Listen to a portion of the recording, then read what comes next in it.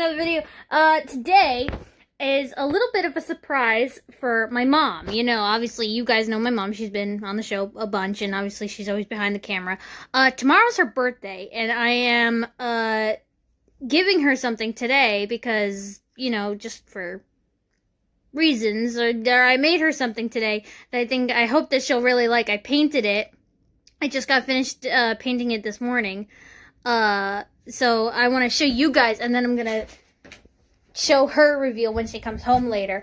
But uh, let me go into the kitchen because that's where the painting is. So here, let me show you. Look at that.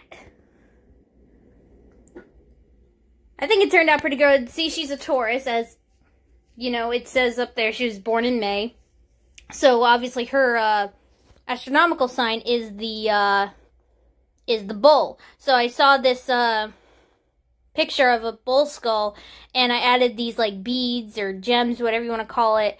And uh, I think it turned out really, really pretty, and I hope she really likes it. But we'll see. Uh, I mean, she usually likes a lot of the things that I paint for her, but uh, you know, this is special because it's for her birthday and stuff.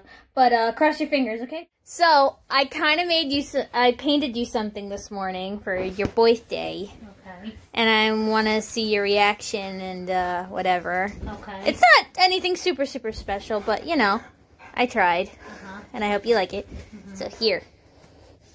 Put your hand out. okay. Go ahead. There's a dog. Go ahead, open. You can open him. Ooh. Ooh, I love it. Ooh, I love it. It's so nice. You like it? Yes, thank you. You're welcome. I love it.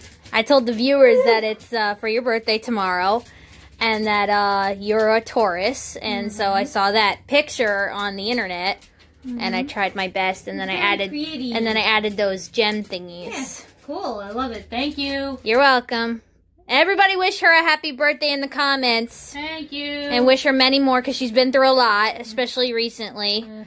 And she deserves all the best. Hey, But this is just a little token to show that I love her. I already know that, but thank you. You're welcome. So bye. Bye.